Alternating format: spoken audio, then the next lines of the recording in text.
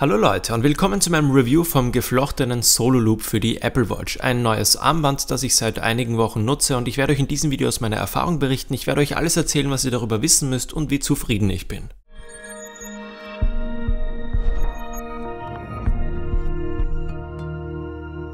Im September 2020 hat Apple gemeinsam mit der Apple Watch Series 6 und SE drei neue Armbänder vorgestellt. Zum einen mal das normale Solo Loop, das so ähnlich ist wie das normale Sportarmband. Dann eben das geflochtene Solo Loop, um das es in diesem Video geht, und das Lederarmband mit Endstück. Das Besondere an diesen Solo Loops ist, dass sie keinen Verschluss an der Unterseite besitzen. Das ist also ein durchgehendes Armband, das einfach so direkt über die Hand gezogen wird. Wir haben bei beiden Solo Loops ein dehnbares Material und das macht es schon zu einem praktischen Armband, muss ich sagen. Das normale Solo Loop gibt es in verschiedenen Farben, so wie auch das normale Sportarmband und kostet auch wie das normale Sportarmband 49 Euro. Das geflochtene Solo Loop kostet dann tatsächlich rund doppelt so viel und das gibt es in fünf verschiedenen Farben. In diesem Video seht ihr die Farbe Kohle grau. Das heißt, das normale Solo Loop liegt preislich auf einer Ebene mit dem Sportarmband, dem Sport Loop oder auch den Nike Sportarmbändern und das geflochtene liegt dann preislich auf einer Ebene mit dem Lederarmband oder dem Milanese Armband.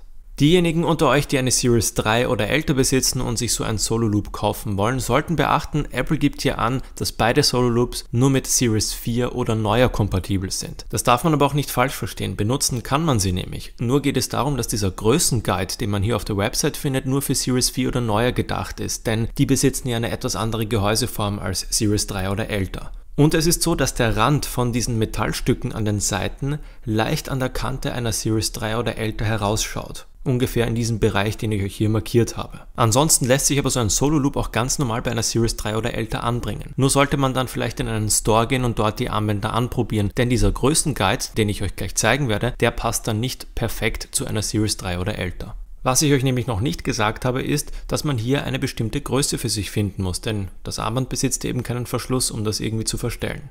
Bei der 40 mm Version gibt es die Größen 1 bis 9 und bei 44 mm die Größen 4 bis 12. Und hier oben könnt ihr auf Armbandgröße messen klicken und könnt dann so einen Vordruck laden sofern ihr einen Drucker besitzt. Das ist dann nämlich sehr praktisch, denn danach bekommt ihr so ein PDF-Dokument, das müsst ihr ausdrucken, achtet darauf, dass ihr beim Drucken die Größe hier auf 100% setzt und dann sollte das eben so aussehen. Und da könnt ihr dann unten eine Kreditkarte oder einen Ausweis ablegen, denn die haben ja so eine standardisierte Größe immer und so feststellen, ob ihr das Ganze auch wirklich in der korrekten Größe ausgedruckt habt. Weiter oben habt ihr eine ausführliche Anleitung und müsst zuerst mal diesen Streifen auf der rechten Seite ausschneiden. Und das sieht dann so aus. Da müsst ihr dann die Seite mit den zwei Pfeilen oben auf euer Handgelenk legen und dann die Seite mit den Größen eben genau drauflegen. Entweder trifft man dann relativ genau eine bestimmte Größe oder man ist zwischen zwei Größen. Was ich jedenfalls gemacht habe, ist, dass ich das relativ eng angelegt habe. Also ich habe wirklich den korrekten Umfang meines Handgelenkes genommen. Und in meinem Fall liegt es auf einer Linie. In dem Fall steht auch hier geschrieben, nimmt man lieber die kleinere Zahl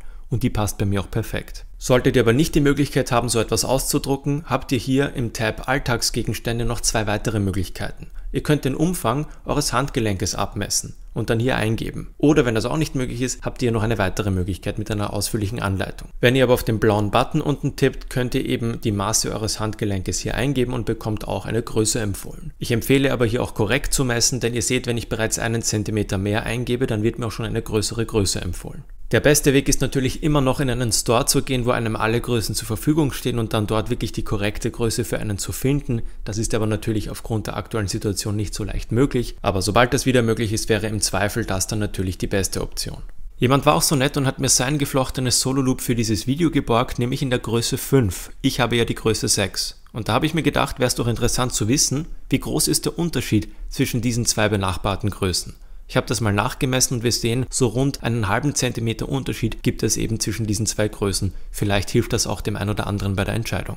Die Passform von der Größe, die ich hier für mich gefunden habe, würde ich als sehr gut bezeichnen. Ich bin wirklich zufrieden damit. Es ist so, wie ich es mir gewünscht hatte. Das heißt, es liegt nicht zu eng an. So eine, sagen wir mal, leichte Lockerheit ist da, aber es umfasst trotzdem noch gut mein Handgelenk, ohne dass es unangenehm festdrückt, ohne dass ich es die ganze Zeit so deutlich spüre sozusagen. Kann natürlich sein, dass ich auch Glück habe, dass diese Größe mir wirklich so perfekt passt. Schreibt gerne in die Kommentare, wie eure Erfahrung aussieht, sofern ihr einen Solo Loop besitzt. Vor allem eben was die Wahl der Größe und die Passform angeht. Was man auf jeden Fall auch wissen sollte, in so einem Support-Dokument zum Tragen der Apple Watch gibt Apple an, dass das Solo Loop im Laufe der Zeit auch länger werden kann. Zahlreiche Erfahrungsberichte zeigen, dass das vor allem auf das normale Solo Loop zutrifft. Beim geflochtenen Solo Loop habe ich die Erfahrung gemacht, dass es am Anfang doch eine Spur enger war. Nach ein bis zwei Tagen hat sich das leicht gelockert, aber wirklich nur sehr leicht hat sich das so ein bisschen angepasst ans Handgelenk. Das war bei mir aber eben nur am Anfang so. Seitdem sind jetzt schon viele Wochen vergangen, seitdem hat sich da auch nichts mehr dran geändert. So zumindest meine Erfahrung. Neben all dem muss ich natürlich auch die Verarbeitungsqualität ansprechen und die ist, wie man es von Apple Zubehör gewohnt ist, ausgezeichnet und wie man es vor allem auch von anderen Apple Watch Armbändern gewohnt ist. Bei all den Apple Watch Armbändern, die ich über all die Jahre jetzt schon gesammelt habe, könnte man sagen, ist mir durch und durch immer eine hohe Qualität und eine lange Haltbarkeit aufgefallen. Das heißt, die Preise von diesen Armbändern sind zwar deutlich höher als von diversen Drittanbietern, aber man bekommt zumindest auch eine wirklich hohe Qualität, die, die man sich mindestens für den Preis erwartet.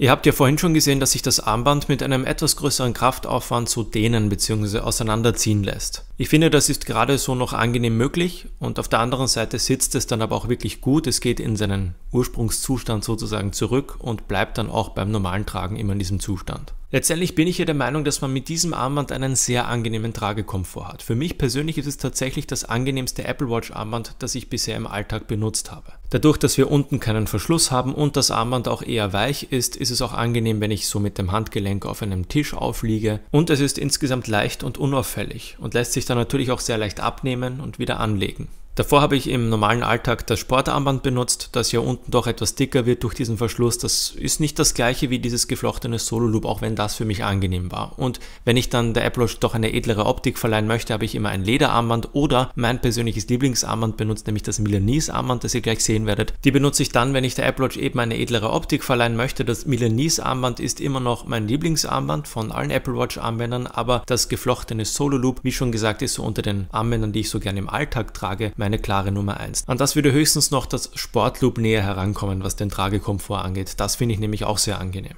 Das geflochtene Solo Loop ist für mich einfach eine schöne Kombination aus sportlich, aber auch elegant und einem eben sehr angenehmen Tragekomfort, weswegen es eben wie schon gesagt für den Alltag mein Lieblings Apple Watch Armband geworden ist. Und wie ich vorhin erwähnt habe, können natürlich diejenigen unter euch, die einen Solo Loop besitzen, gerne ihre Erfahrung in den Kommentaren teilen. Ich hoffe, dieses Video hat euch gefallen. Ich hoffe, ich konnte euch damit vielleicht auch bei einer Entscheidung helfen. Wenn ihr mich noch nicht abonniert habt, aber an weiteren Videos von mir dranbleiben wollt, dann klickt auf Abonnieren und ihr könnt noch sehr gerne auf Facebook, Instagram und Twitter folgen. Links dazu findet ihr in der Videobeschreibung. Vielen Dank fürs Zuschauen und bis zum nächsten Video.